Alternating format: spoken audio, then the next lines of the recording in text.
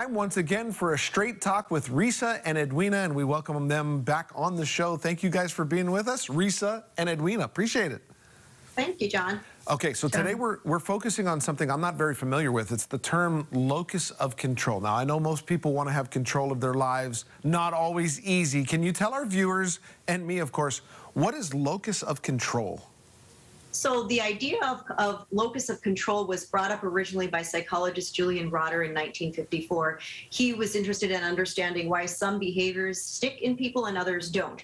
And so he says that our lives are a series of um, actions and outcomes. And we ascribe a locus of control or identify a location that these, uh, these actions and outcomes come from based on either internal or external uh, types of behaviors.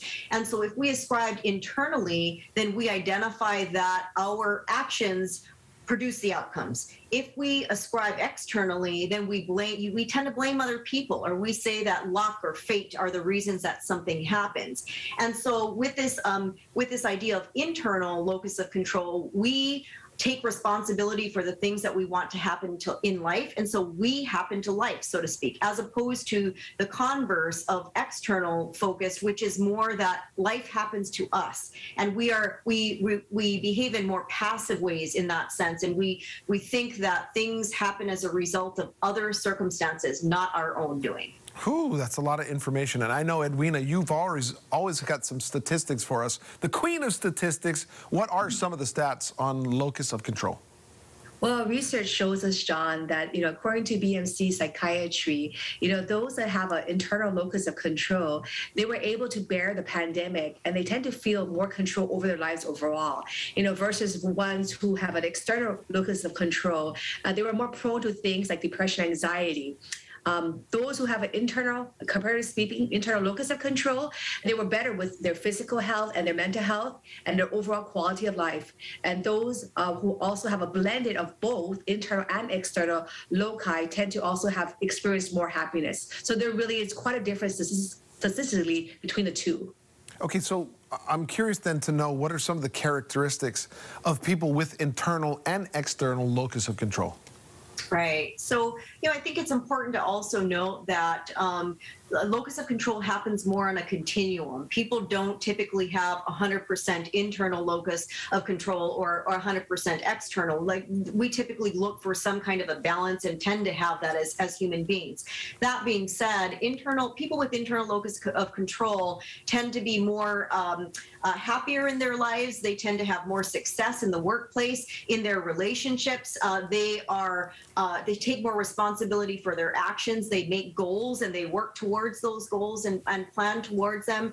Um, they have healthier uh, uh, physical lives and mental health lives overall, and um, just tend to, to exude a self confidence and a self efficacy that those with external locus of control don't have. So, on the flip side, those with external locus of control tend to be less independent, uh, more dependent, if you will. They tend to be uh, less healthy, less active in their lives. They tend to be more uh, uh focused on things that they don't have as opposed to what they do have, and, and tend to have more difficulties in the workplace and in relationships.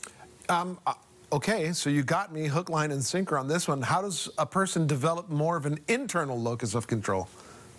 A very good question, John. So you really want to take every opportunity to be able to intentionally do things that are different in order to be able to formulate more of an internal uh, locus of control.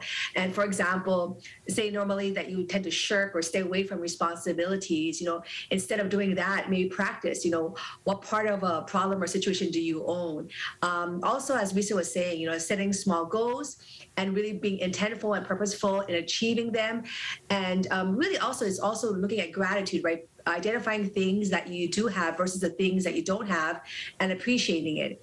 Um, and instead of maybe the grumbling or complaining about things.